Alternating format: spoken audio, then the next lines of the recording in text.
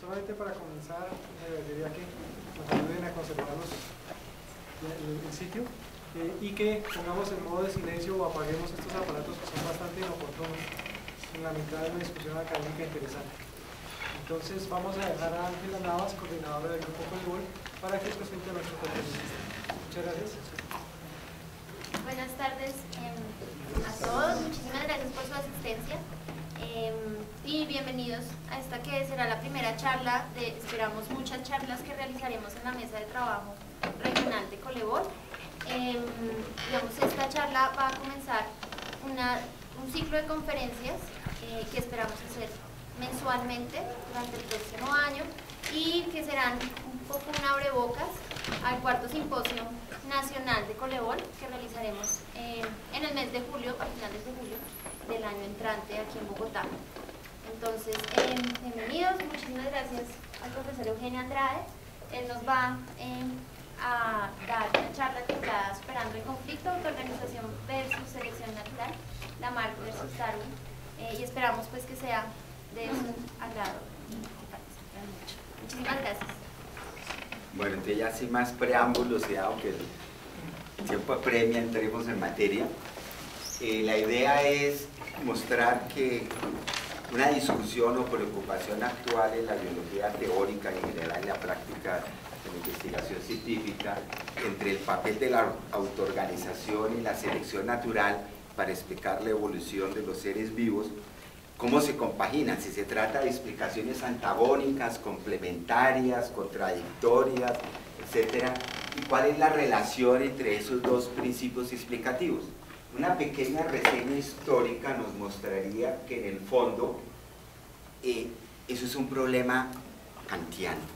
El filósofo Kant planteó que si queríamos hacer biología, es decir, el estudio científico de los seres vivos, debíamos utilizar las explicaciones mecánicas de Newton, es decir, utilizar un principio basado en la existencia de partículas, de unidades constitutivas de la materia viviente y de una fuerza externa que actúa sobre ella.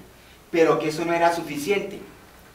Y añadía en un principio 2 este filósofo Kant, un gran biólogo teórico, digámoslo así, de que si queríamos hacer una verdadera ciencia de los seres vivos, no era suficiente la explicación mecánica, sino que teníamos que adoptar como hipótesis que los seres vivos fueran inteligentes y que se organizaran a sí mismos, o sea, autoorganización. La hipótesis de la autoorganización de la inteligencia del ser vivo iba a ser la esencia de la especificidad del discurso biológico y de la ciencia biológica como una ciencia tal. Es decir, esto es contemporáneo ya a la época en que Lamarck y otros autores comienzan a plantear la posibilidad de una ciencia distinta a la física y la química que se llamó biología.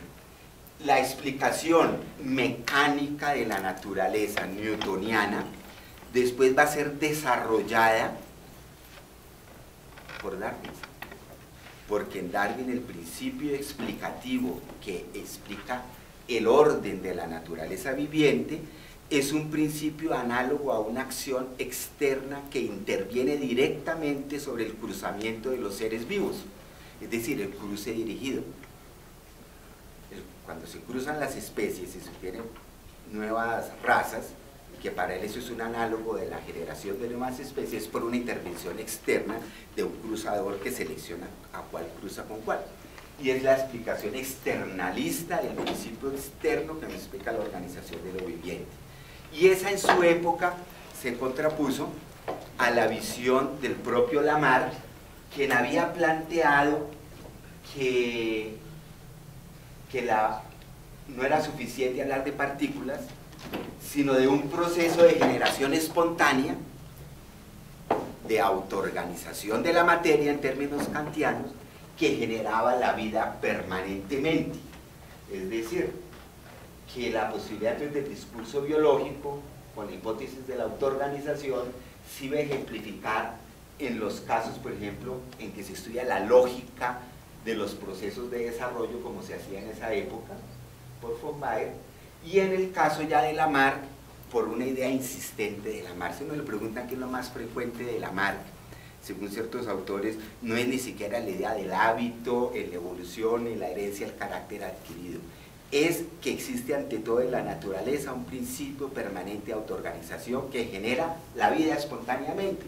Y entonces para él, las explicaciones propias de la biología son las internalistas, las que parten de la dinámica misma de la materia, de su propia estructura, de las propiedades de la materia, y las externalistas son como la de Cuvier, contemporáneo de Lamarck, en que todo está ordenado de acuerdo a una función en un plan previsto por Dios. Idea que de alguna manera la hereda Darwin y la transforma en la selección natural. Y entonces con la naturalización de la idea externalista por Darwin de la en, términos de selección natural, entonces nos olvidamos de la idea internalista, es decir, las propiedades de la materia que permiten la generación de lo viviente como algo, como algo físico, como algo propio de la vida. Entonces, si después surgen preguntas sobre estos detalles de Lamarck y Darwin en torno a la autoorganización lamarquiana, que en su época se llamaba generación espontánea, y el seleccionismo darwiniano como la explicación privilegiada, heredada de esa visión newtoniana para explicar lo viviente, entonces hoy en día nos encontramos, el debate se ha ido modificando, se ha ido enriqueciendo, la física ha ido cambiando, y entonces tenemos que hoy en día tenemos una, una fuerte controversia entre los proponentes de la autoorganización y los proponentes de la selección natural. ¿Qué significa este esquema? Es decir, la autoorganización es más general y es una condición previa para que puedan haber sistemas que evolucionan por selección natural, sería la primera opción. O la segunda, ¿será que la selección natural es la condición misma para que se dé la vida y evolucione y entonces aparezcan sistemas que se autoorganizan? Es decir, son dos explicaciones contradictorias se complementan o están hablando de cosas diferentes, también podría ser eso, son inconmensurables, es que uno están hablando de una cosa y otros están hablando de otra. Para terminar la introducción histórica hay que recordar que una de las razones por las cuales la explicación de selección natural tuvo mucha fuerza, o ha tenido o sigue teniendo mucha fuerza, no es solamente su demostración del poder de la selección a través del cruce dirigido, como hizo el propio Darwin, sino también porque era la única explicación en el siglo XIX congruente con la física del siglo XIX. Y es que la física del siglo XIX no le dejaba un espacio para la autoorganización de la materia. Básicamente la concepción newtoniana era que la materia es pasiva. Hay fuerzas externas que la mueven pero sobre la naturaleza de esas fuerzas, según el propio Newton, no especulamos. Entonces, si la materia es pasiva, que se organice, que genere vida, que haya evolución, debía ser una explicación externalista. pero la física ha cambiado. De hecho, hoy en día, ya ubicando en el momento actual, tenemos una gran cantidad de autores que nos hablan que la autoorganización es una propiedad fundamental de la materia. Todos estos autores trabajan el tema en el campo de la física. El problema es ver esto cómo nos puede ayudar a entender el problema cuando lo llevamos al caso de los seres vivos.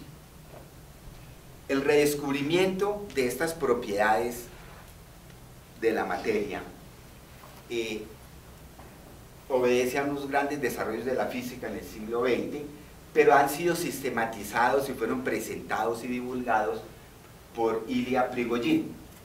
Él considera que el concepto de la materia pasiva, newtoniano clásico, está referido a sistemas en equilibrio.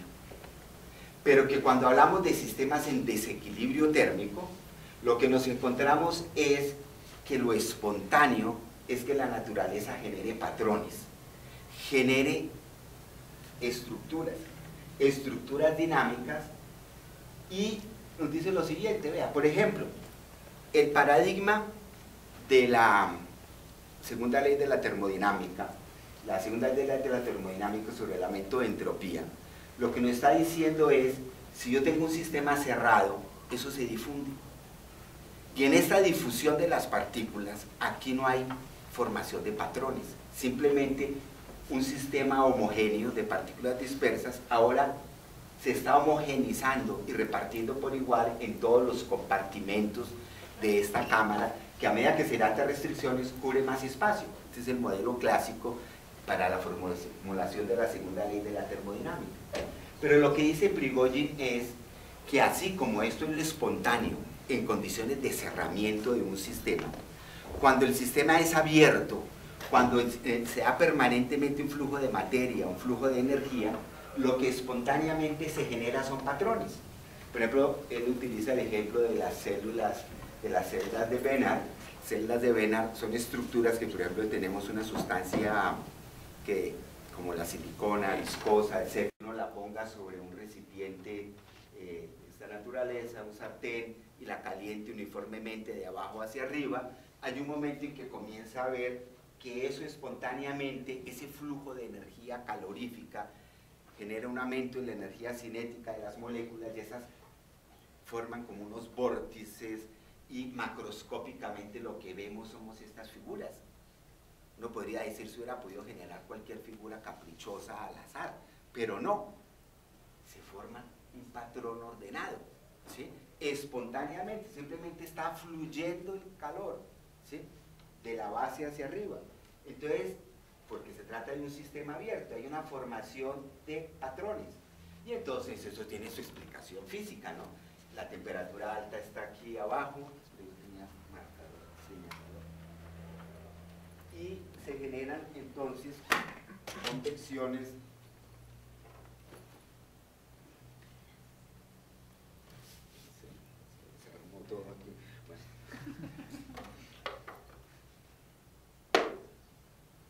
se desarrolla, no se ve, ¿no?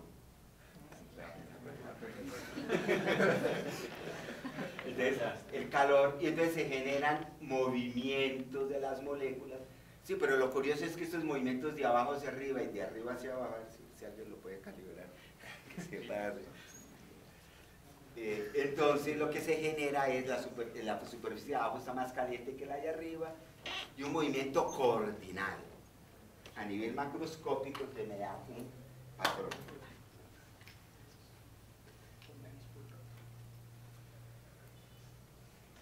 Formación de patrones, por ejemplo, estas mismas celdas, celdas de Bénard se pueden observar en la manera como se rompe un vidrio o en los patrones de arena y estructuras en la superficie de la tierra, las dunas, etcétera. Sí, sí. Entonces que lo mantenga presionado fuerte.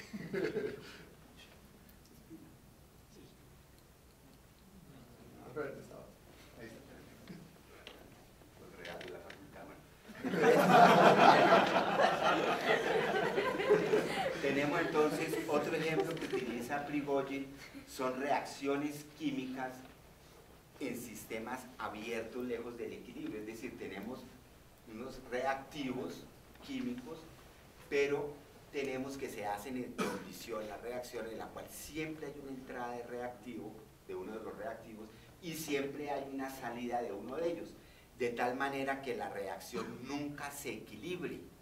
¿sí? En contrario, lo que uno hace en un tubo de ensayo, que es esperar a que todos los reactivos se consuman y esperar a ver cuáles son las proporciones del producto final. Y entonces comienza a haber una oscilación de patrones de color. Esto es, por ejemplo, cuando se sacude el tubo, se homogeniza el color, como se alternan las zonas azules con las zonas rojas pero cuando se pone sobre una caja de Petri y se deja quieto, uno puede alternancia del azul y el rojo forma ciertos patrones de ondas. Y eso ocurre simplemente por un fenómeno puramente químico.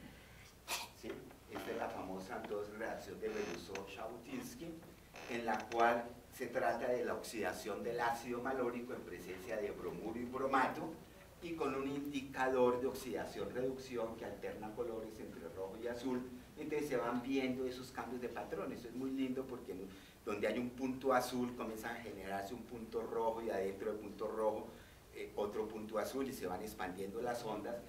Y en, cada experimento que se repite es distinto en qué punto comienzan a generarse, pero el patrón global general siempre se repite. Igualmente muestra Prigoyen que para la medición precisa de las concentraciones de ciertos reactivos que participan de esa reacción, se puede dar un punto de indeterminación. Es decir, la reacción química se puede repetir.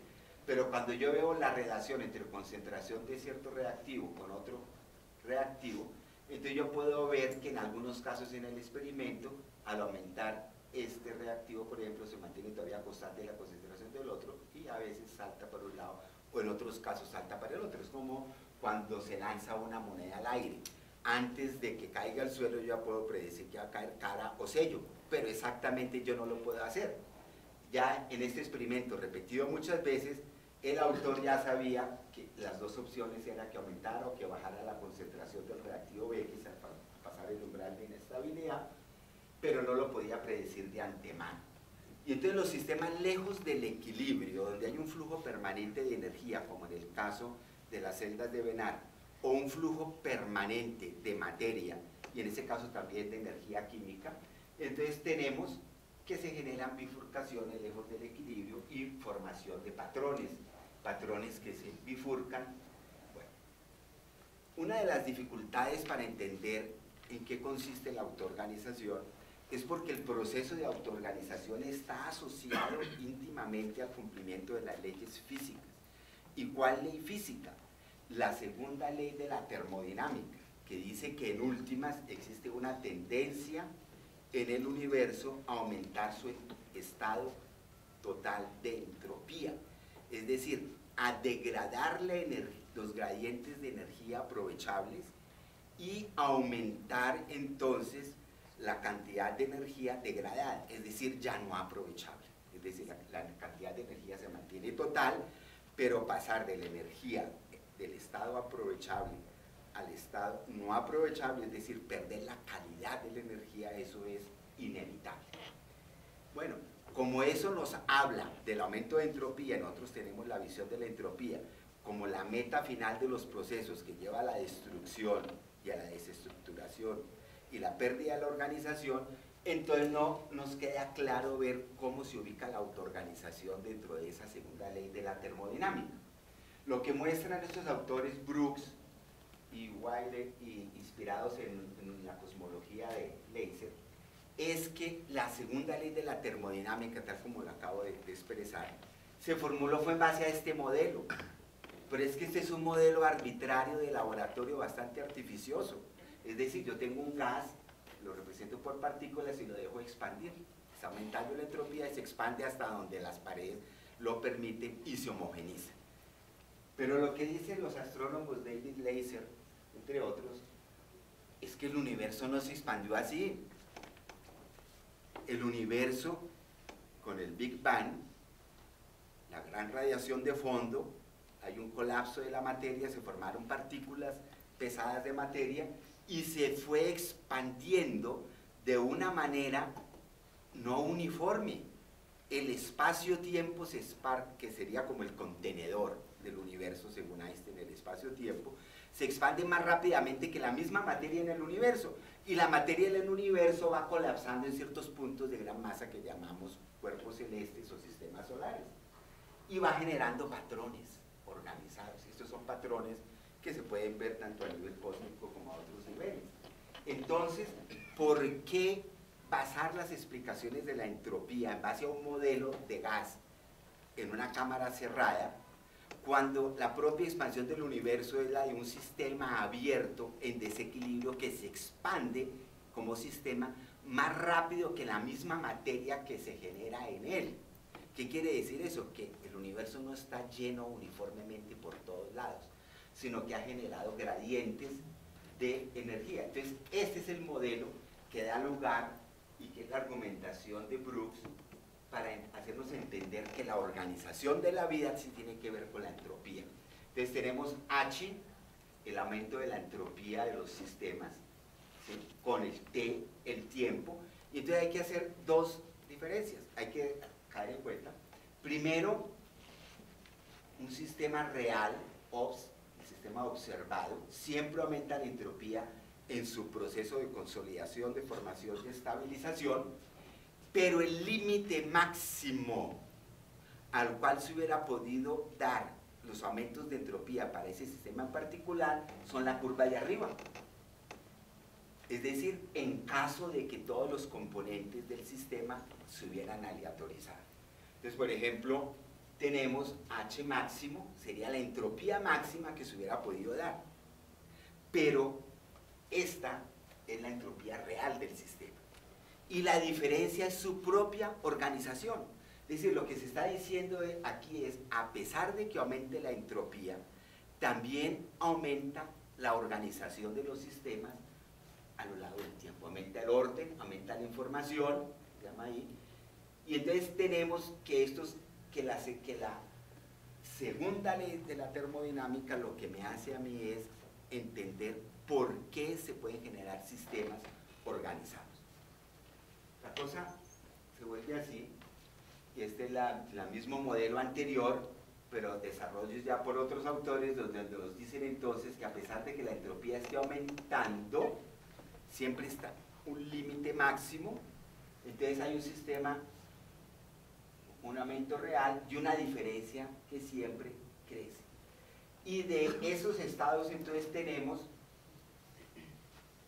por ejemplo, yo tengo una célula, una célula me representa un sistema ordenado, cada una serie de partículas y componentes propios de la célula están en una situación real, la que corresponde a este estado de entropía real aquí abajo. Si yo los disgrego, la desordeno, tengo los mismos componentes, aumenté la entropía de ese sistema, H máximo y sería su límite, ya no tengo la célula. Por eso los sistemas organizados es qué tanto estructura, qué tan estructurado está el sistema de una situación ideal en que los mismos componentes estuvieran aleatorizados. Por eso entonces se puede decir que el orden aumenta al mismo tiempo que aumenta la entropía. Lo curioso es que entonces tenemos que un sistema en expansión tiene una etapa inmadura de desarrollo, una etapa de crecimiento exponencial, tiene una etapa de estabilización, así como la curva se va estabilizando, y una etapa senescente, donde ya el sistema no se expande más, es decir, se estabilizó por completo. Y eso llevó entonces a que si consideramos la tangente de la curva anterior y que se considera que es una medida proporcional al flujo de energía en los sistemas, los flujos de energía de los sistemas tienden a aumentar a medida que el sistema se consolida, se expande, se estabiliza, se mantienen en un estado de madurez y después los flujos de energía van decreciendo. Siempre está aumentando la entropía, siempre hay un flujo de energía sobre el sistema. Pero mientras el sistema aumenta la entropía más rápidamente cuando crece, más el impacto ambiental del crecimiento y el impacto entrópico del crecimiento que el de la vejez. Pero siempre está aumentando la entropía. En la situación de equilibrio ya no aumenta la entropía porque el sistema se ha descompuesto, se ha desorganizado. Entonces tenemos, por ejemplo, el estado inmaduro, ya para referirlo más a sistemas biológicos, predomina lo anabólico sobre lo catabólico.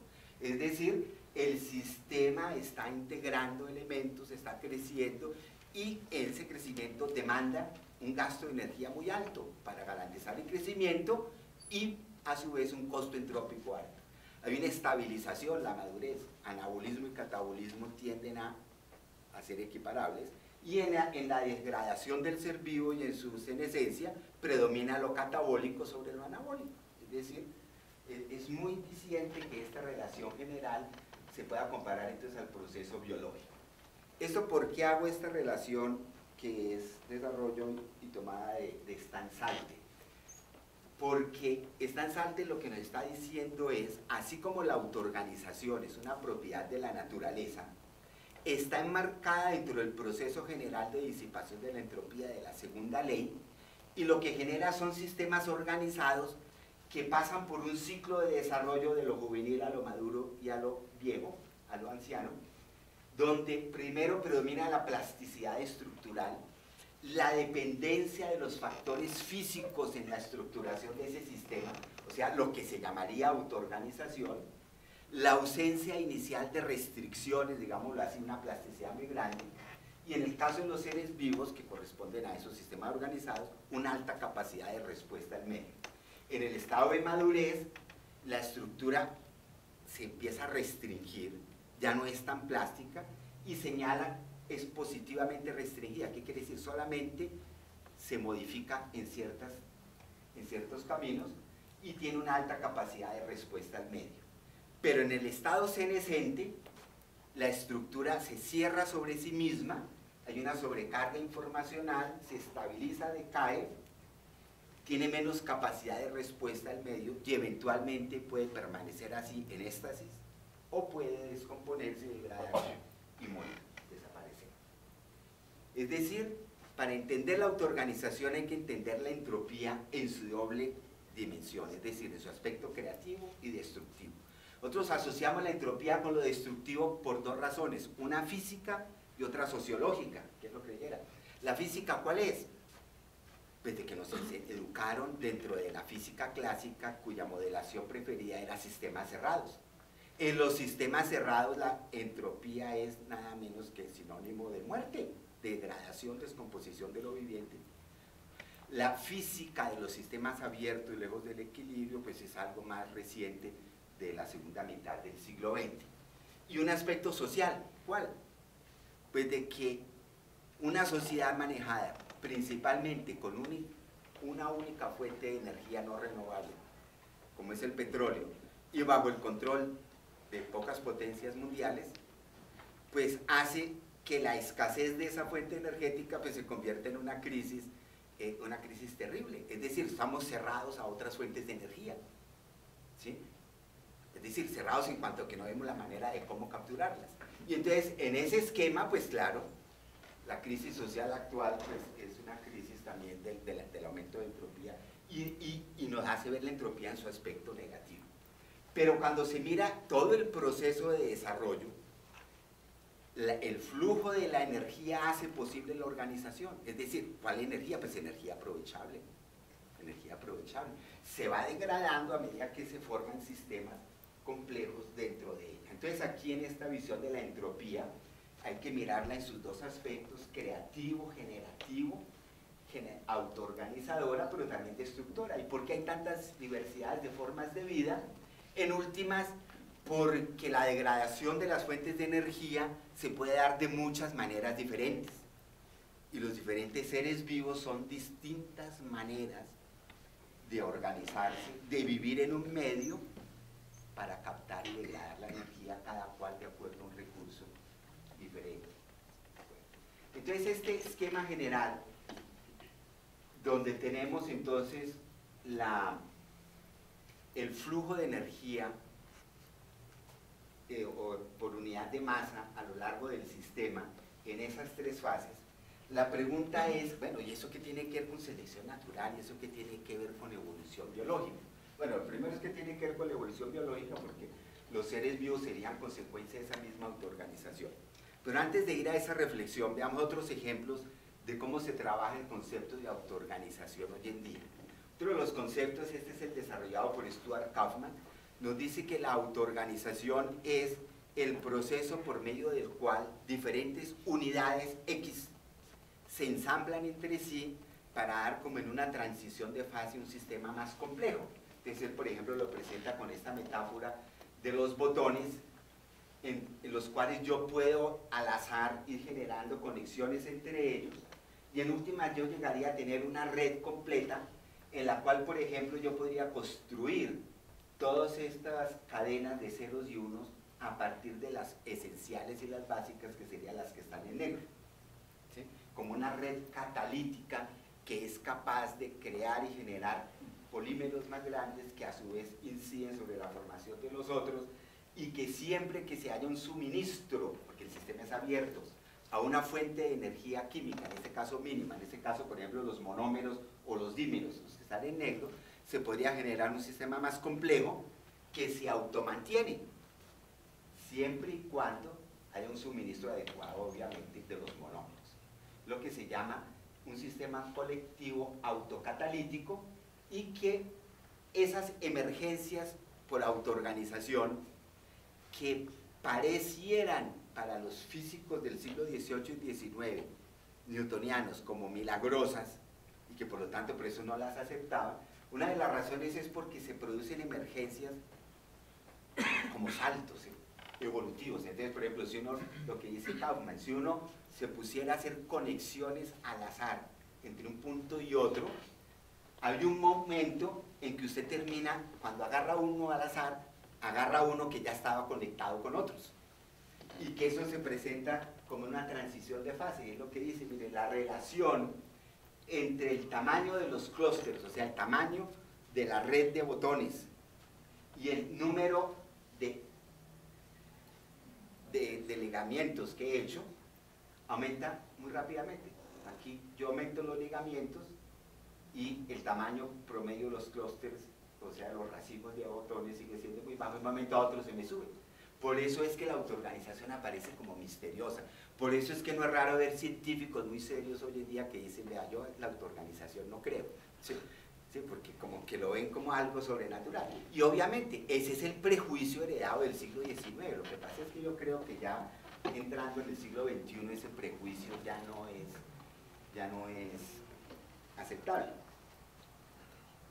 En el año 78 Len propone que realmente la autoorganización no es sino, por ejemplo, la química. El problema es que la química la hemos visto a nivel puramente molecular, cómo los átomos y moléculas pequeñas reaccionan y me dan otra molécula. Pero una química supramolecular, que me diga cómo se organizan las moléculas entre ellas y qué tipo de estructuras generan las asociaciones entre moléculas, eso ya sería una manera de entender la autoorganización. Este autor es muy interesante porque muestra que mientras la molécula se forma, es por la formación de enlaces covalentes, estables, etcétera, ustedes lo saben muy bien, las moléculas entre sí interactúan por otro tipo de fuerzas más débiles, las hidrofóbicas, las de Van der Waals, las de London, bueno, otras fuerzas, y entonces uno podría ver cosas como estas, ya. Estos son de unos anillos cíclicos con nitrógeno sintetizados artificialmente y la manera como esas cadenitas de seis anillos se agrupan entre ellas es muy sensible a las condiciones del medio. Según en el medio tenga níquel, forma cadenas unas enfrentadas a las otras. Cuando hay hierro, por ejemplo, lo acoplan al interior de unos de unas especies de triángulos que forman las ramas de las distintas cadenitas, ¿no? o cuando hay, por ejemplo, eh, distintas concentraciones de hierro, bueno, uno es el cloruro de hierro, el otro es sulfato de hierro, forma estructuras que no son exactamente iguales a nivel supramolecular. Pues bueno, la autoorganización es eso, también. ¿Cómo emerge un sistema organizado supramolecular a partir de moléculas cuyos componentes eran los mismos y hay más de una manera de generar supraestructura molecular dependiente de las condiciones del medio. Entonces, por ejemplo, cosas como la formación de las capas bilipídicas o las, o las anfifílicas, las que por un lado son hidrofóbicas y por el otro lado son hidrofílicas. Por ejemplo, hay distintas maneras de formar micelos a partir de moléculas como el jabón, que por un lado son hidrofóbicas, la cadena larga polar, y por el otro lado son iónicas, como la, la que está ahí. Hay distintas maneras como espontáneamente se forman glóbulos con ese tipo de moléculas. Pueden ser eh, con las espículas hacia afuera, hacia adentro, distintas maneras, son distintas maneras de autoorganizar una estructura supramolecular. Entonces la química supramolecular hoy en día está dando muchos ejemplos de cómo la autoorganización realmente es un fenómeno de la química, como lo había entrevisto Prigogine y Kaufman.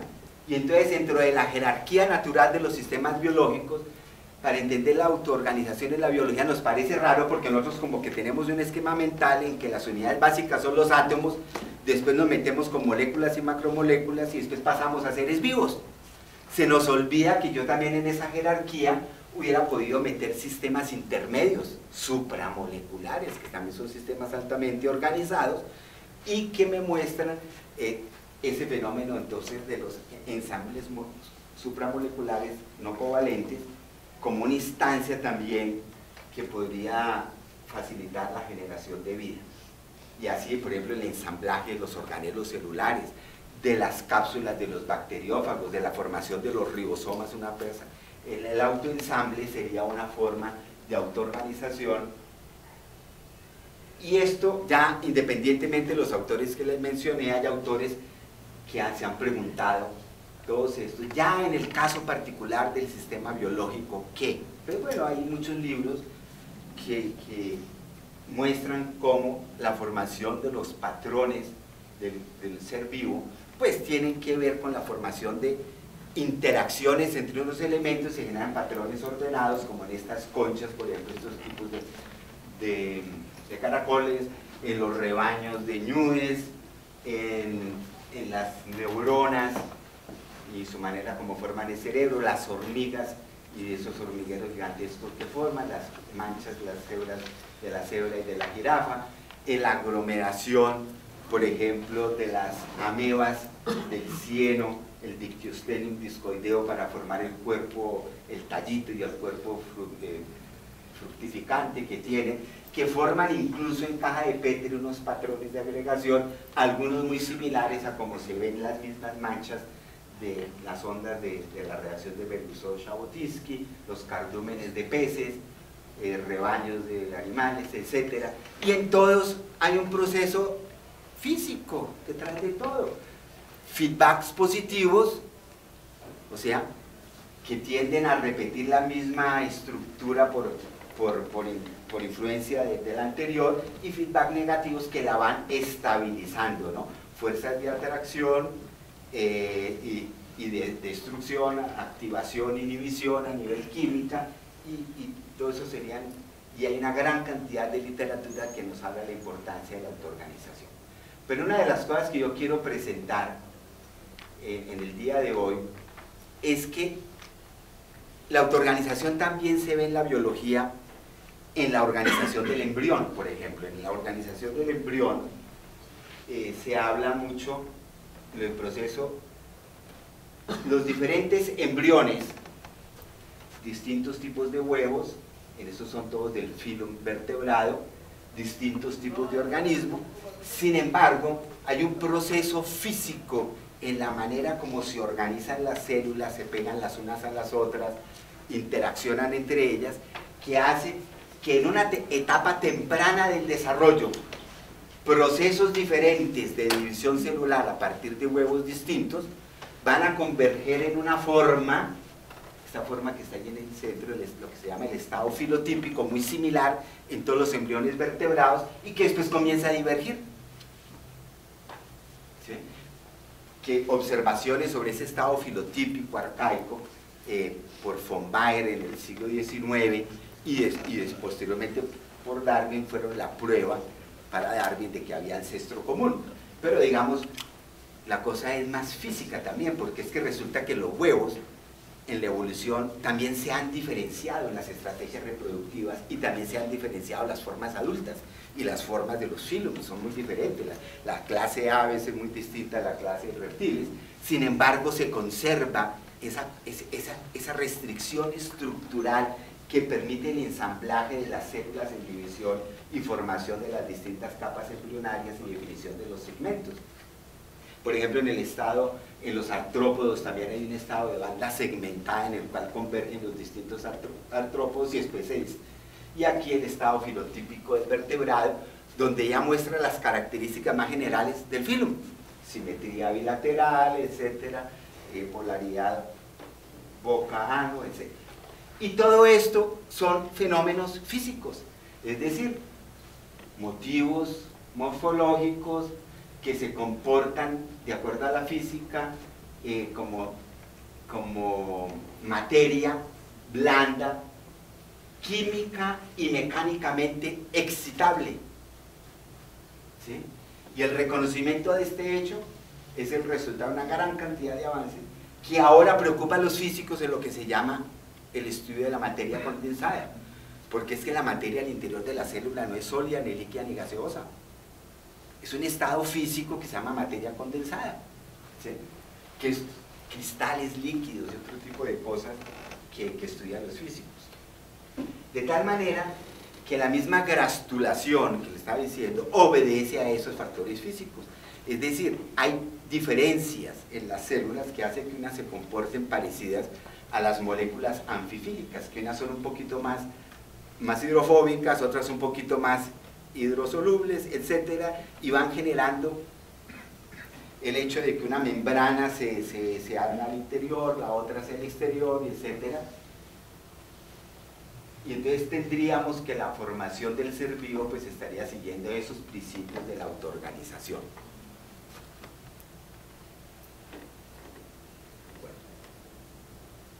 Y fuera de eso, evolutivamente facilitado por información genética, en el sentido de que lo que se generó a lo largo del tiempo se puede ir estabilizando y lo vemos en la constitución genética.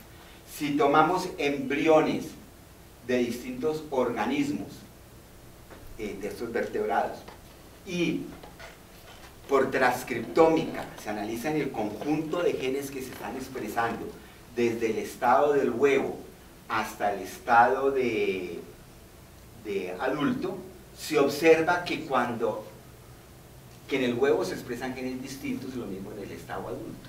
Pero que en el estado filotípico se están expresando básicamente los mismos genes y que esos genes corresponden a los genes más arcaicos de esos grupos. ¿Qué significa eso? Que ese fenómeno físico que veníamos hablando del estado filotípico como una autoorganización, etcétera, si ahora se ha hecho mucho más expedito y viable y facilitado por la expresión de productos genéticos que son coincidentes de los distintos organismos justamente en, en esa etapa en que sus embriones se parecen más entre sí. Bonito eso.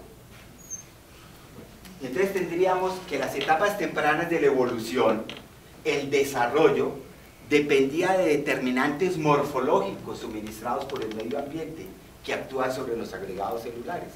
Y a lo largo de la evolución, estos factores externos van siendo reemplazados por proteínas fabricadas ya por el equipamiento genético del organismo y entonces la morfogénesis se va a enganchar a un circuito genético que va a liberar el proceso ontogenético de la dependencia de factores externos y también la va a hacer depender de los factores internos y por eso no nos podemos extrañar hoy en día que también existan los famosos genes del desarrollo. Es decir, la evolución pasa de un estado muy plástico, muy de autoorganización, a un estado estabilizado. Los estados estabilizados son los estados que dependen más justamente de lo genético. Entonces, en la escuela neodarwiniana hoy en día, que predomina el principio explicativo de selección natural, esto es lo que se concentra principalmente en su estudio.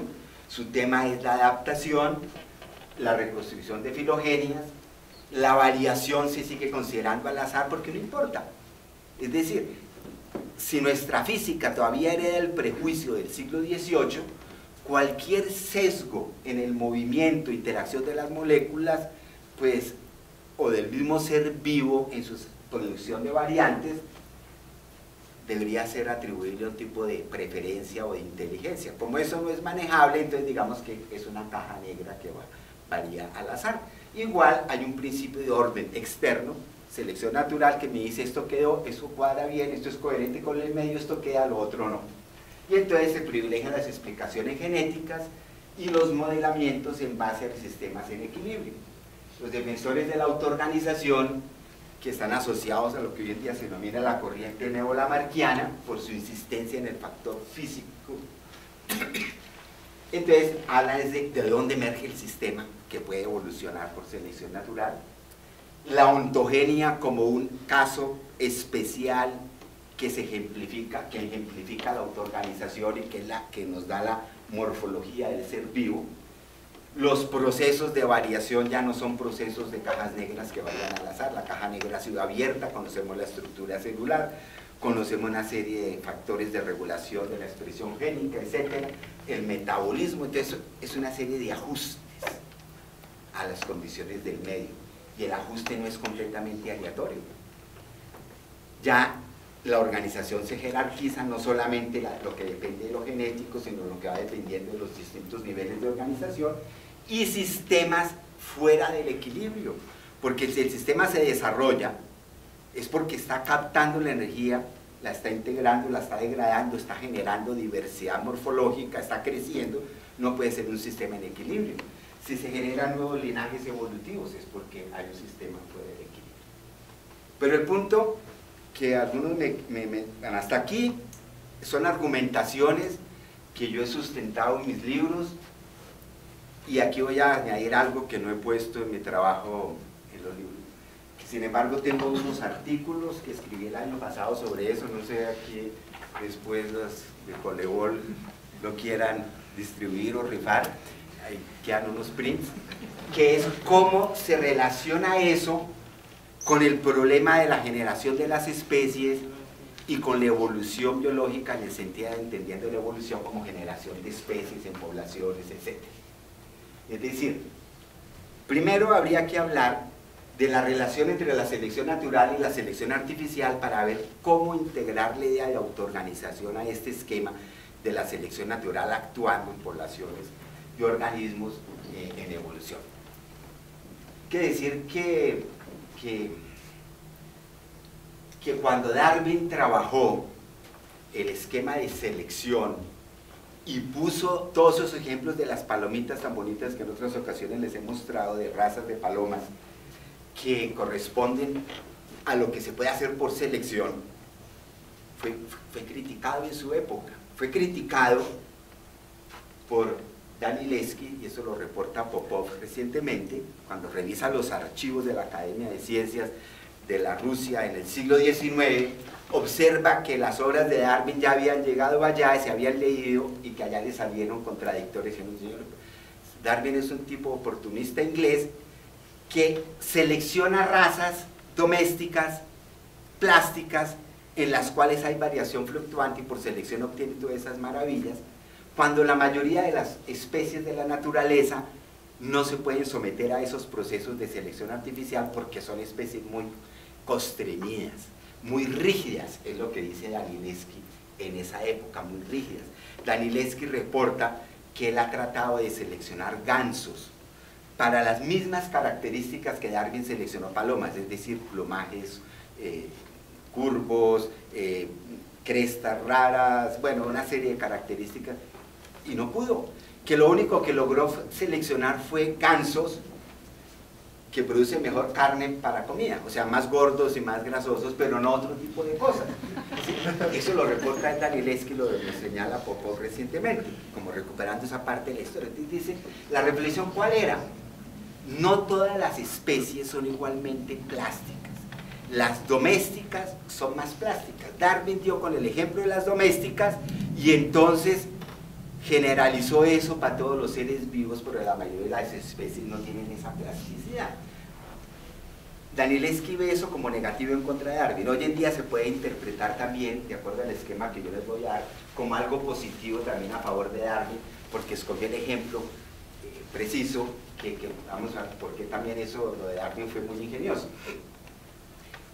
Recientemente Jaroslav Fleck retoma todas estas discusiones y propone, a ver, él es un genetista de poblaciones especializado en animales domésticos y en procesos de domesticación de animales, pero haciéndole toda la genética.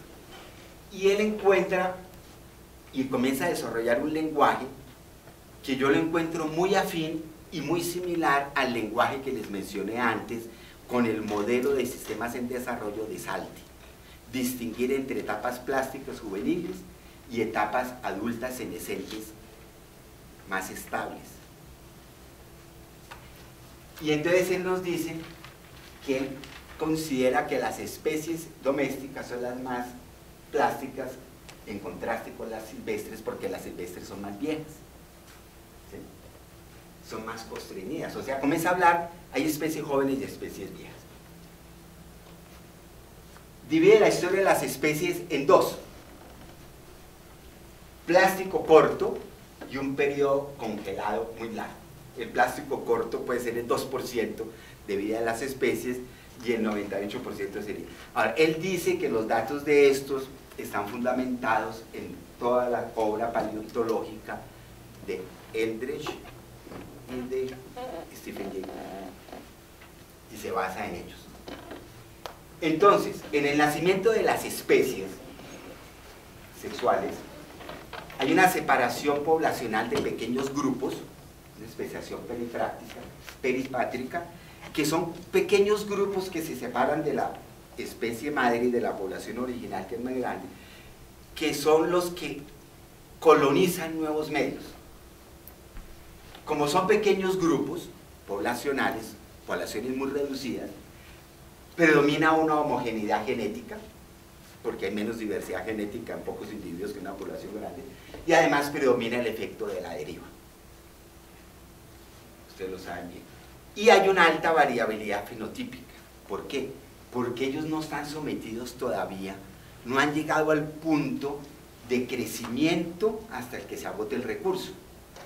Cuando hay amplia disponibilidad de recursos, ambientes ecosistémicos nuevos por explorar y nuevos tipos de relaciones para establecer en esa nueva comunidad, hay alta variabilidad fenotípica. Pero ese periodo plástico de expansión rápidamente va a llegar, bueno, más o menos rápidamente, eso sí, en cada caso podría ser distinto, a un límite de sustentabilidad. Si la población está creciendo, ya comienza a haber un límite a su sustentabilidad y al recurso, aumenta el polimorfismo genético, se va a establecer una red interconectada de estrategias cooperativas y competitivas en esa especie en emergencia y se da una estabilización fenotípica y es el proceso en que actúa la selección natural. Entonces Darwin cuando habló de selección natural, pues sí tuvo razón y fue afortunado, no fue desafortunado como decía Danielewski, sino yo creo que hoy día podemos considerar que fue afortunado que justamente se hubiera enfocado en las especies domésticas, con mayor énfasis, porque eran las que se hubiera podido ver eso. En las otras especies no hubiera sido tan claro ver el efecto de la selección para mostrar que ese argumento podía tener una validez importante. Entonces tenemos, por ejemplo, que esta sea una especie con una variabilidad genética, una especie madre. Hay unos pequeñas, por peripatría, unos pequeños grupos que forman posibles comunidades, especies colonizadoras de nuevas eh, exploraciones del ecosistema, por su tamaño pequeño y su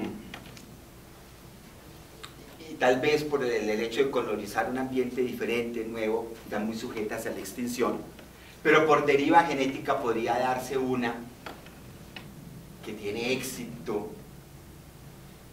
en su proceso de colonización, que no se extingue, podría extinguirse, pero que puede crecer. Esta ya sería el germen de una nueva especie, su composición genética ya es muy distinta a esta porque por deriva y por el efecto fundador, pues ya se distinguió genéticamente de esta, hay un crecimiento poblacional y aquí, mientras en esta etapa predomina la evolución neutral, aquí predomina la evolución por selección natural. Y ahora tenemos fenotipos que se van estabilizando en esas relaciones nuevas ecológicas de interacción que se crean entre los miembros de la especie, pero también entre la especie y su medio ambiente. Y entonces ahora tenemos que la adaptación natural me permite la proliferación de mutantes dentro de la población. Y ahora va a haber una mayor variabilidad genética y la variabilidad genética va a tener, si tenemos en cuenta los fenómenos de epístasis, los fenómenos de interacción génica, las variantes neutras, etcétera, lo que ocurre es que son distintas y variables maneras de estabilizar los rasgos fenotípicamente seleccionados aquí. Y por eso aquí hay una alta variabilidad genética. Y entonces se habla de que la especie se va congelando fenotípicamente, se va estabilizando sus relaciones pero genéticamente puede ser, como él utiliza el término, elástica. Elástica, ¿qué quiere decir eso? Que puede generar nuevos mutantes y esos mutantes ser integrados a la población. La población se mantiene. Y entonces hay un congelamiento de la especie, sería el mayor periodo de vida de las especies, lo que está de aquí. El momento de la selección natural apenas era este momento generativo subsiguiente a un proceso entonces neutro. Entonces tenemos esa es la etapa plástica inicial, la etapa plástica de estabilización y todo lo demás es una etapa muy larga, que es la etapa congelada. Y entonces tenemos la propuesta que yo hago en ese artículo es justamente que este modelo de especiación de Jaroslav Frey es completamente analogable a la visión física de la autoorganización de Stansalte. Y entonces el periodo congelado, a escala macroevolutiva está congelado y es elástico, lo utiliza el término elástico a escala micro, es decir, pueden aumentar la diversidad genética. Son las especies más frecuentes e imposibles de domesticar, porque su plasticidad se ha perdido, su capacidad de entrar, de que el hombre comienza a ser parte de su mapa de relaciones es, es distinta, es, es, más difícil, ya son muy estables, entonces el hombre no logra interactuar con ellas a, una domesticación exitosa. La respuesta a las condiciones de selección disminuye, no hay una adaptación óptima, la fitness podría disminuir, hay una vulnerabilidad y posiblemente una extinción. No quiere decir que entre más tiempo lleven en éxtasis, más rápido se extinguen, no, tampoco quiere decir eso pero la extinción es una opción real, digamos. Esto entonces corresponde al modelo del equilibrio puntual. En el equilibrio puntual teníamos aquí una especie, las variantes genéticas y fenotípicas de la población fluctúan en torno a valores promedios, y en algún momento se segrega una pequeña subpoblación, neutralmente comienza a incrementar el número de variantes y aquí ya por selección se coopta la selección y entonces aumenta. Aumenta la población, el tamaño de la población.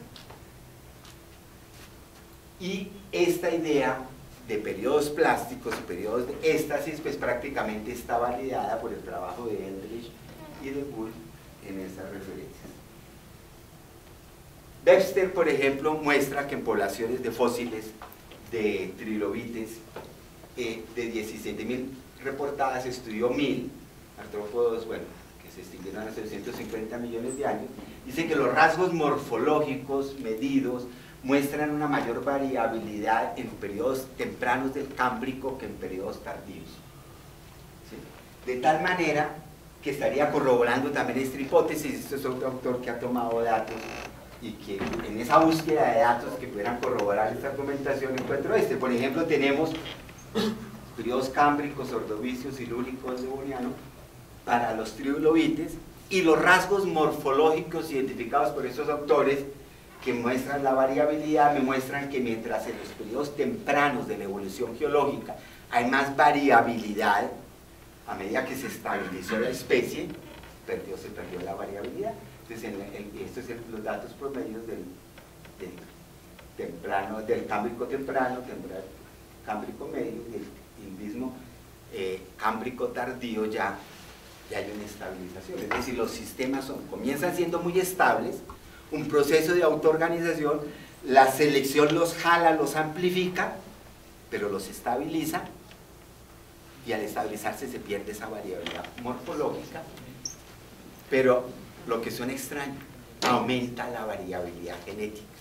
Pues que la variabilidad genética puede aumentar porque justamente no va a afectar tan radicalmente el fenotipo. El fenotipo ya se ha ido estabilizando por otra serie de factores. Entonces se tolera la aparición de variantes genéticas. Entonces teníamos que la autoorganización y la selección natural, al fin que la autoorganización es la condición previa para que haya selección natural, o la selección natural es la única que me explica la evolución de lo viviente y por lo tanto la aparición de sistemas autoorganizados. Para resumir, yo tomo la posición por la primera. La autoorganización es lo más general, la selección natural es un caso específico, pero sin embargo, la autoorganización se refiere a la emergencia de sistemas organizados y de sus variantes. La selección natural a la preservación de variantes adaptadas a contextos locales la autoorganización impulsa a los sistemas organizados a través del proceso de desarrollo.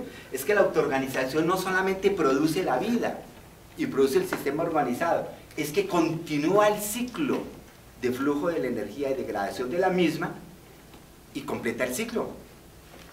La autoorganización es la misma fuerza que nos genera, pero también la que nos destruye, en última. Entonces, impulsa el sistema a través de un proceso de desarrollo, de una fase plástica a una fase constreñida positivamente, a una fase estable, negativamente constreñida.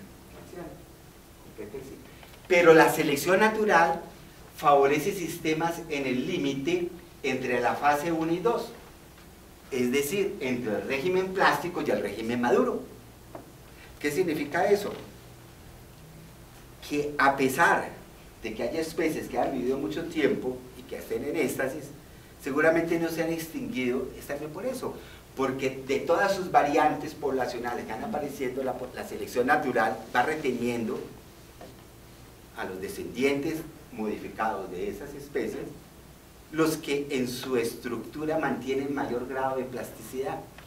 Y entonces la selección natural es, aquí ya hay como una contradicción, mientras que el proceso entrópico autoorganizativo tiende a generar la bioturra, seguir el ciclo, me muero, la selección natural como que está ah, poniéndole un freno, ah, no, no, avance tan rápido, más o menos es eso, ¿sí?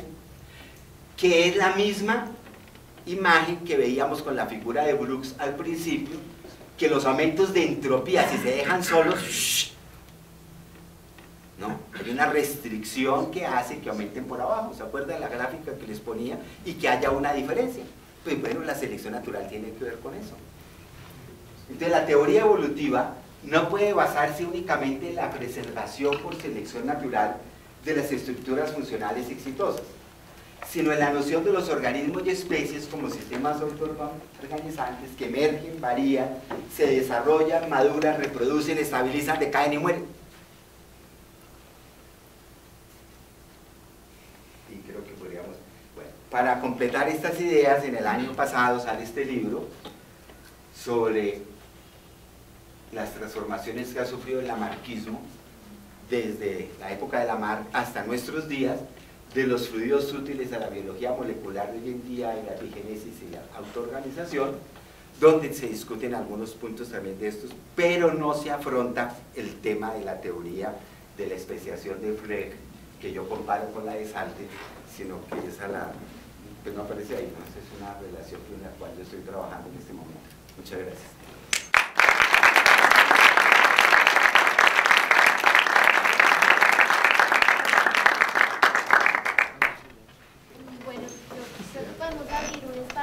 Para preguntas. Entonces, eh, si alguien... Yo quería preguntar si la, la, es un capítulo del anarquismo o, o, realmente consume todo lo que podríamos llamar como el neolamarquismo, por, por decirlo así. Me, me, refiero a si consume conceptos como autorreferencia o, o otros conceptos eh, que se incluyen, por ejemplo, en la última publicación que resalta? Eh, eh, autoorganización. Bueno, es que, a ver, a la mar lo conocemos por la herencia del carácter adquirido y por la importancia del hábito y la modificación. Porque esas dos características directamente contradecían el principio de variación aleatoria y selección natural. Pero si uno se pone a leer ya la obra de Lamarck en su complejidad y en su riqueza, uno encuentra que Lamarck dedicó más tiempo a otros temas. Y al tema que más le dedicó fue a la evolución de la corteza terrestre como condición para la evolución de la vida y la subsiguiente modificación de la misma corteza por acción de la vida y a la a lo que él llamaba la generación espontánea.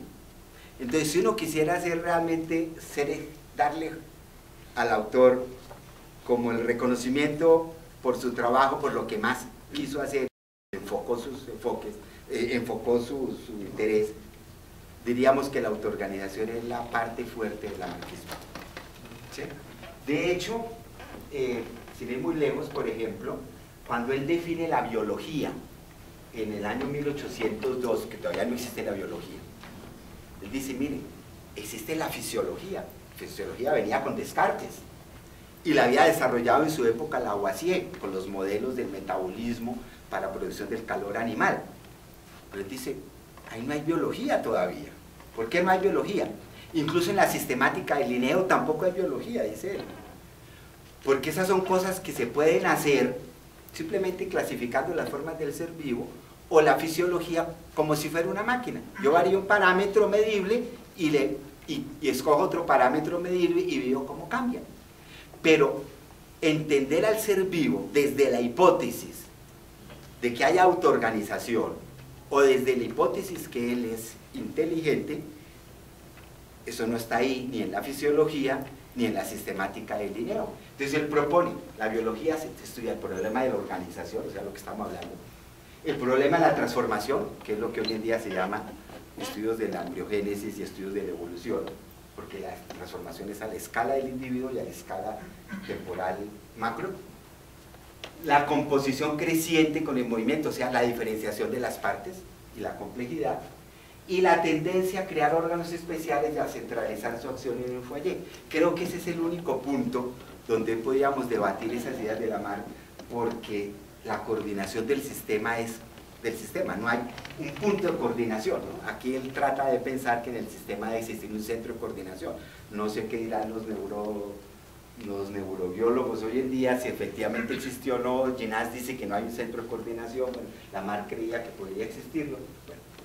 Y la idea de la generación espontánea era, el calor es un fluido material sutil, que me explica cómo se genera cómo la materia atómica particular, que según Newton era pasiva, puede, por medio de la atracción newtoniana, acercarse y por medio del calor redistribuirse y generar permanentemente la generación, la, generación espontánea. Lamarck fue ridiculizado no solamente por los ingleses con la época del darwinismo, es que la, la desgracia de Lamarck comenzó en Francia, con Napoleón, Napoleón quería preservar una visión teológica del ordenamiento social y de la naturaleza y no materialista como Lamarck. Y después de que viene la revolución, ya mucho más tardío, de 1848, la famosa revolución eh, en Francia del 48, y que viene la dictadura de Luis Bonaparte, se comienzan a generar premios y estímulos para el que refute la generación espontánea porque se consideraba que era una doctrina materialista que la había acabar y después el héroe de Francia del siglo XIX va a ser Pasteur. ¿Sí? Eso tiene toda una historia verdad ¿Y es por qué? Porque Lamarck había sacado la generación espontánea del ridículo. Es decir, del ridículo de las interpretaciones de los científicos que decían que la generación espontánea es tener un poquito ahí de trapos, pichos, con un poquito de excremento para que salgan lagartijas y ratones. No, Lamar había dicho, eso no es generación espontánea. Generación espontánea es la generación de seres muy simples, poco complejos, agregados de materia, que son como puntos gelatinosos que se expanden y que se contraen, etcétera, y que, y que son vida, y que eso ocurre permanentemente. Obviamente, tal vez se equivocó en eso de que ocurren permanentemente, de que ese fenómeno ocurre permanentemente, pero, pero es que acaso sabemos, creemos que la vida se genera una sola vez en la Tierra y solo en la Tierra. Eso, eso, está abierto y abierto a la investigación hoy en día. Entonces, otro punto, miren, Lamarck tiene esa visión sistémica que es propia de los autores de la autoorganización Joan Senet, un investigador eh, catalán que tradujo la obra de Lamarck al español o algunas obras de Lamarck al español, pone en su presentación de la obra de Lamarck que ese es el mejor ejemplo de prefiguración de la teoría de sistemas, antes de Bertalanffy y antes de todo eso. Lo que pasa es que como está en una época más atrás, pues eh, ser uno muy visionario antes de tiempo, pues como que tampoco, le, tampoco sirve, ¿no? ¿Sí? y, en su época Heckel, cuando dice que la obra de Lamarck es un verdadero monismo eh, integrador, porque es la única explicación que se ha tratado de buscarla, realmente la explicación de la vida en causas físico-químicas. Es decir, no se requieren principios externos, ni Dios, ni su sustituto, porque la revolución científica de Darwin es apenas la mitad de la revolución, es una naturalización de, ese principio de organización, pero no es completo porque lo deja únicamente en explicaciones externas a la dinámica misma del organismo. Obviamente que es natural, la selección natural es natural, sí, de acuerdo, es natural, y que es un avance, pero no es la recuperación completa de la idea de que el ser mismo, la materia misma, puede generar vida y vida que se transforme y que evolucione. La selección natural es como la que me afina esas formaciones, que llamamos seres vivos, y me las ajusta un poco más o menos a las condiciones de esos ambientes cambiantes. ¿sí? Pero no es la generadora. Entonces aquí se ve que, la, la, eh, que en esta cita de Heckel, pues ese, ese principio de autoorganización de la mar es, es muy importante.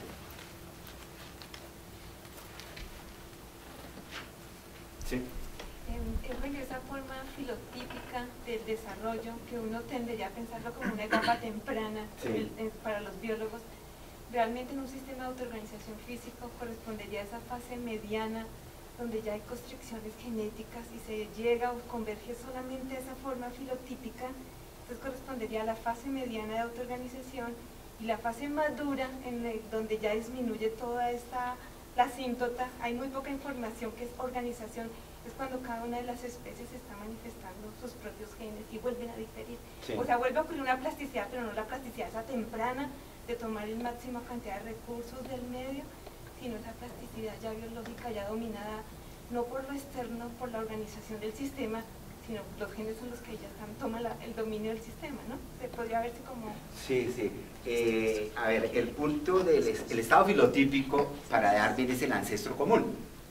O sea, si hoy en las ontogenias vemos esa etapa similar, llamada filotípica, es porque hubiera existido un ancestro común.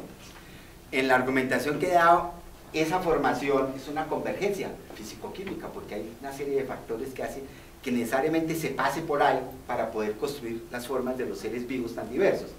Luego, ¿qué quiere decir? Que cuando hay un principio físico-químico actuante de naturaleza formativa, eh, etcétera, no es completamente constreñido, porque de ahí salió la diversidad de todo el mundo, por ejemplo, de los vertebrados, ¿sí? Pero ves, era, por más diversos que sean los vertebrados, del pez al hombre, etcétera, hay una arquitectura básica fundamental que se sigue.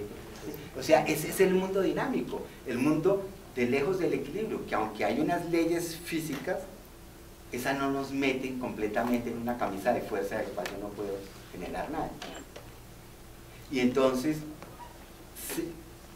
el sistema, lo que quiero decir es que la selección natural va preservando esos estados donde todavía se puede construir algo. Preservando eso. Si todo siguiera simplemente la ley física, eh, digamos de la entropía, la vida emergería y, y se hubiera disipado rápidamente. ¿no? Es, es algo así, ¿no? No, no hubiera tenido que generar tanta diversidad. ¿sí? Pero generar diversidad es generar también maneras de degradar la energía. Por lo tanto, de hacer que la segunda ley se cumpla, se siga cumpliendo, ¿sí? O sea, hay un efecto sinergístico ahí entre la selección natural y la autoorganización.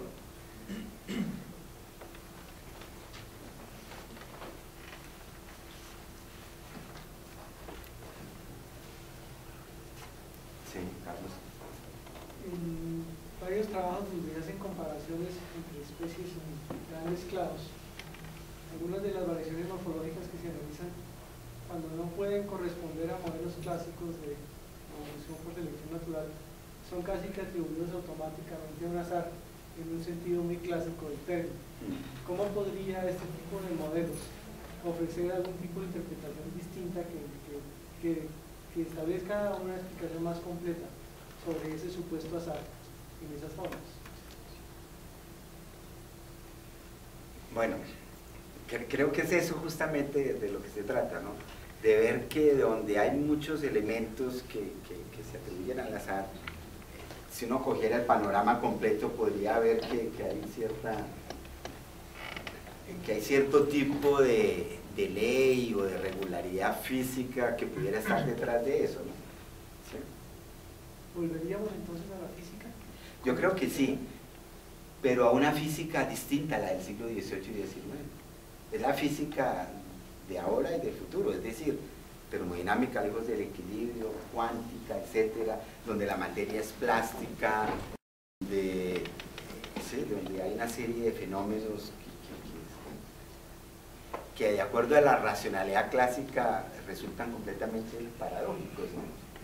Sí, yo creo que sí volvemos a un fisicalismo, porque es que la, la física misma se ha biologizado. ¿sí? La biología se fisicaliza. ¿sí? Y, y- y- como que hay un diálogo muy fuerte entre la física y biología hoy en día, y esa es como la propuesta que se abre para el siglo XXI, ¿no? como esa retroalimentación fecunda en- entre ambas disciplinas. ¿no? De hecho, por ejemplo, hay, hay una tesis de, un cosmólogo, Lee Smolin, que habla que los universos evolucionan por selección natural. Ustedes lo pueden ver y él explica por qué, ¿no? Ahora, yo cuando he mirado algo de esos planteamientos digo, no, realmente no es la selección natural propiamente tal como la estamos definiendo aquí, pero, pero lo que sí quiere decir es evoluciona de acuerdo a una ley similar a las leyes biológicas. Y, yo creo que sí, que en ese sentido sí, sí, sí como que uno observaría que ese patrón general de la autoorganización, el desarrollo, tal y tal, sí, se- sí es como una ley universal más general que no es rígida como la ley newtoniana. Porque es que también hay otro debate, es, bueno, en últimas, todo es determinista otra vez, porque como siempre aumenta la entropía, pues siempre tiende a aumentar la entropía y punto. No, es que la entropía tiende a aumentar en el universo cuando se computa a nivel de la sumatoria de todos los sistemas locales. Pero la manera como aumenta esa entropía no está prescrita por ninguna ley. El, uni- el universo tiene ese tipo de indefinición propia. Hay muchas maneras de aumentar la entropía, puede ser por un camino, puede ser por el otro. Y puede ser que no en todas las partes del universo la entropía esté aumentando, ni en todas esté aumentando de la misma manera. Pero el cómputo global de entropía, según la física, por lo menos de lo que se conoce, sí, sí tiende a aumentar. O sea que hay mucho espacio para eso, eh, para que haya una gran cantidad de determinación compatible con esa gran ley física de la entropía, digámoslo así.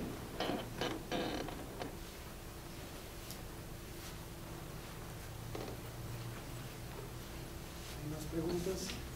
Sí. No, bueno, no sé, en la gráfica de caos que se muestra La, la Eh, gráfica de- del, de caos, donde, donde se ven como los atractores y eh, no sé si los caminos que son llamados atractores son debidos a selección natural, entonces ¿En, en cuál gráfica? Perdón.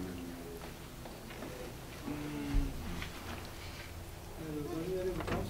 sí, la de las bifurcaciones. Ah, ya, ya, ya, ya. ya. Sí, Entonces la no sé. bifurcación de... eh, bueno, esa gráfica es de Prigogine, Ajá, ¿no? Sí, las bifurcaciones lejos del equilibrio. sí. Bueno, si usted, bueno, si- es decir, la idea es que algo análogo a eso sería aplicable en la evolución biológica. ¿sí?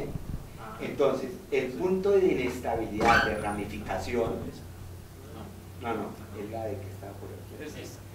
El punto de ramificación sería un punto de inestabilidad, ¿no? Impredicción. Es como cuando la pequeña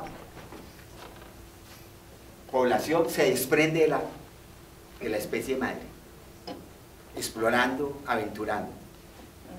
Se pudieron haber desprendido unos, se pudieron haber desprendido otros. Por lo tanto, el resultado final puede ser distinto en caso de que no perezcan. ¿sí? Y entonces el efecto de la selección tiene que ver más es con esto, y la estabilización de la trayectoria. O sea, los momentos generativos propiamente tal se explican más por algo análogo a la autoorganización. Los procesos de estabilización y de aumento poblacional de aquello que ya se había generado tienen que ver más con la selección natural. Y entonces hoy en día ya no estamos en la angustia que tuvieron algunos críticos de Darwin del siglo XIX y todavía que, que están en contra del darwinismo es porque el principio de selección natural fue un análogo no solo del cruzamiento dirigido, sino el funcionamiento del sistema capitalista, ¿no?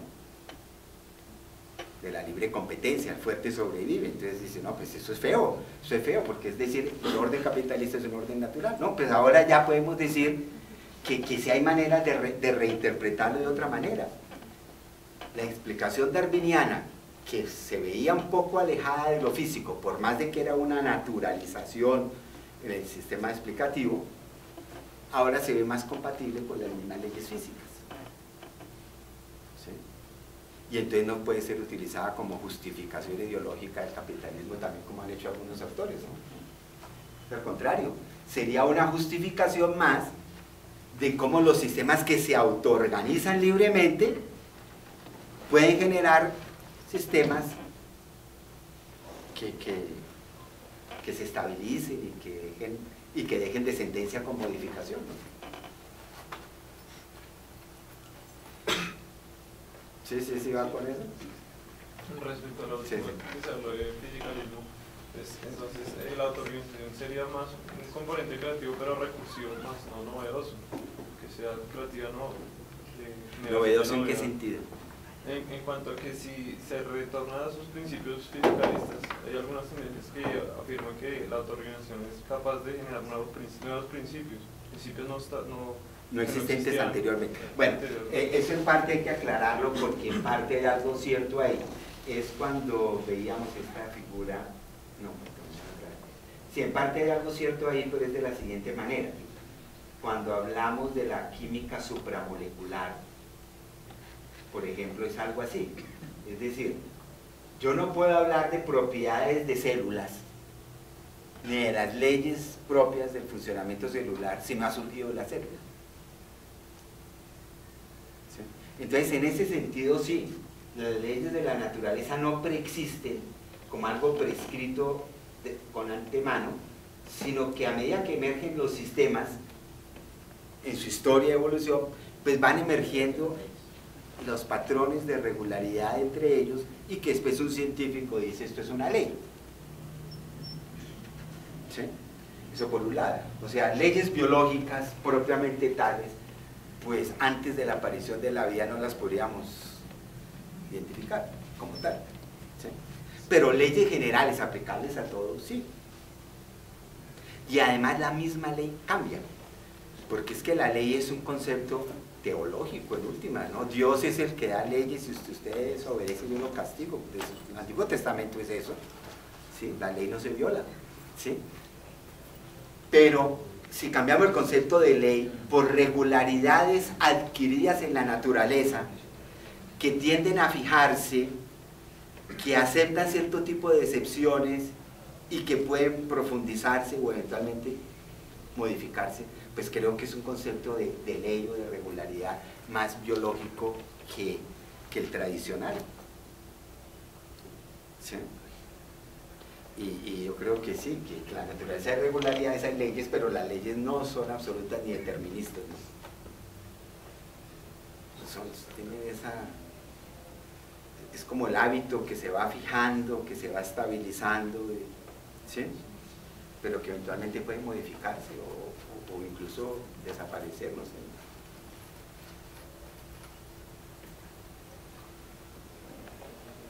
Menos. En ese, en ese sentido del esquema también se podría contemplar la deriva genética como un tipo de autoorganización que está fuera de la biología. Y eh, fuera, fuera de la biología, ¿no? ¿Cómo así? Si digamos, el- la deriva genética ya no actúa en la selección natural. Que, que digamos que la selección natural es como la Pues más sí, grande. esa es una de las preguntas que yo me he hecho, porque si yo estoy llevando el ejemplo a la especiación, estoy diciendo que la especie nueva también se está generando por autoorganización. Pero entonces, ¿qué, qué, cuál es la autoorganización ahí? Entonces, hay unos ele- elementos que preexisten de la especie anterior, los hijos, los que se fueron a explorar otro medio. ¿Qué es lo que se autoorganiza? Un nuevo sistema de relaciones entre ellos con el medio ambiente y de ajustes internos morfológicos, fisiológicos y metabólicos de esos individuos en, ese, en esa manera como están actuando en el nuevo medio. Entonces sí podríamos hablar que en ese sentido eh, la formación de una nueva especie podría ser una autoorganización. Pero digamos que normalmente no se ve así, normalmente se ve la autoorganización es como los pasos de esos niveles, ¿no? ¿Sí? Pero yo creo que la, idea de Fleck me lleva a mí a pensar por el tipo de lenguaje que él utiliza, evitando todo tipo de alusión a la física, eso sí, pero eso de utilizar esa idea de la plasticidad, de la rigidez y de la etapa del desarrollo, sí me parece como muy sugestiva de explorar ese hasta qué punto una especie es como un sistema autoorganizante. Y yo creo que sí, porque es que la especie no es simplemente una colección de individuos que están ahí, que ahora llegó un taxónomo y dijo esto es una nueva especie. No, no. La especie es un sistema vivo de relaciones nuevas que se generan entre ellos, el medio ambiente, etcétera, y, y de ajustes internos, somáticos, estructurales, genéticos, que lleva a que, si uno se podría decir que hay una autoorganización ahí. Respecto a ese último, eh, Andrés, Moya, una persona que criticó exactamente un, artículo muy similar de Luz Vitali, menciona que en ese, en ese último aspecto hay, hay una problemática y es en, el, en, el, la relación de lo, esa, esa, dicotomía que estableció Baseman de plasma germinativo y plasma somático. Sí. Eh, respecto a que el tipo de, de autor, bajo esa dicotomía la autoorganización quedaría como un mero, un mero concepto fisiológico que eh, le permite al, al, organismo adaptarse ante una circunstancia particular, pero como mecanismo evolutivo eh, no puede, no puede hacer, hacer, ese salto debido a, mm. a, a que sí. el cambio se fue en el, claro. en el plasma somático, no Sí, es que eso, yo creo que lo que dice Andrés Moya es muy interesante en el sentido de que casi que nos está explicando de rebote, ahí sí de rebote, no porque ese sea su intento, por qué la autoorganización no, no se le ha dado la importancia que tiene. Porque se acompaña todo el proceso, pues entonces, ¿por qué le vamos a hablar de eso? Como que no, si siempre está actuando ese fenómeno físico, ¿por qué ahora yo tengo que hacer el énfasis en ese para explicar la especificidad de lo, del ser vivo si está todo el tiempo? ¿sí? Entonces yo creo que aunque eso no es lo que intenta decir él, sí, sí nos aclara porque a veces queda como invisibilizada. ¿no? Entonces, ¿qué diríamos? Que autores como Moya son autores que están centrando su atención en un aspecto, en este. Punto. Y si usted hace énfasis en ese aspecto, ahí sí le toca hablar de selección natural, no tiene más, más remedio.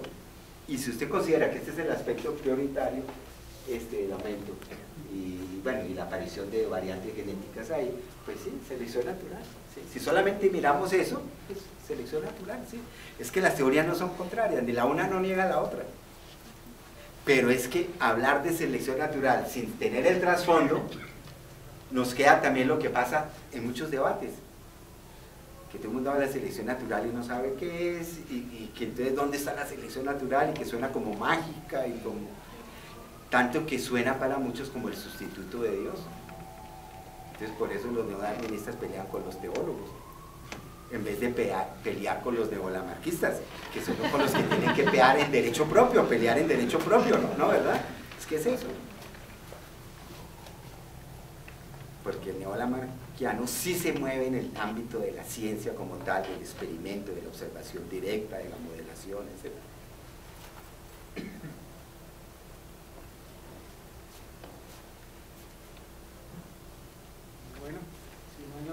muchísimas gracias por